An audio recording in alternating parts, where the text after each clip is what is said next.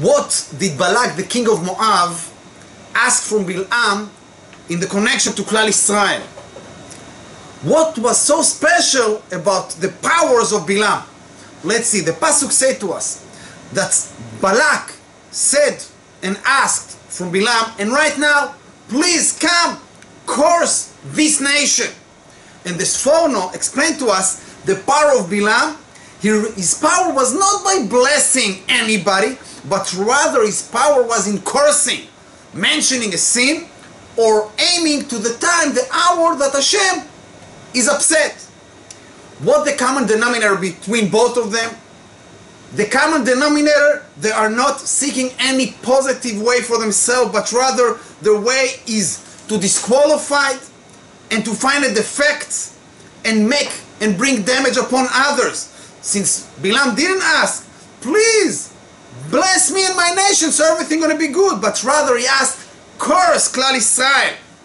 This way of life is negative and it's self-destructive.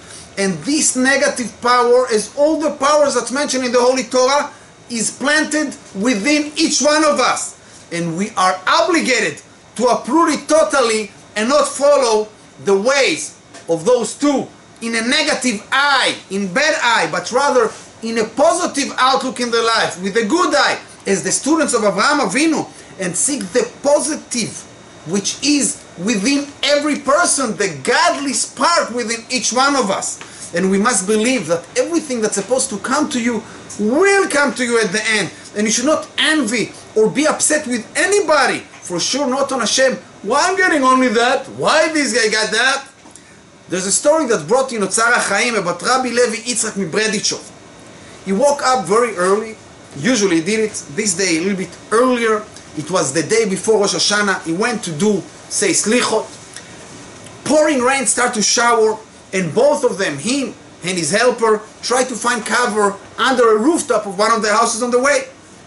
The helper saw out from the window that there are a group of like empty people eating like there is no tomorrow and drinking alcohol, etc. I'm very happy. And he moaned for himself and he said, How empty and low is this generation? This is the night, the day before Rosh Hashanah, and those right now indulge in eating and drinking. The Rav looked at him, unhappy, and said, You should not speak negative on Klal Israel. For sure, at least they saying brachot and gonna bench on the food they're eating. The helper of the rabbi overheard that they spoke, whispering about stealing action this they did already. And he said to the rabbi, why you need to try to teach merit and positive about this group of thieves that are still excited about what they're doing?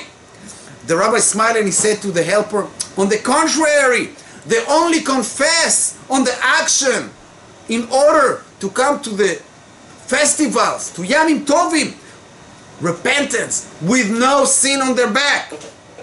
The choice to look around in positive way or in negative, it is in our hands. For sure, sometimes you need to be careful from people who are known to do negative action.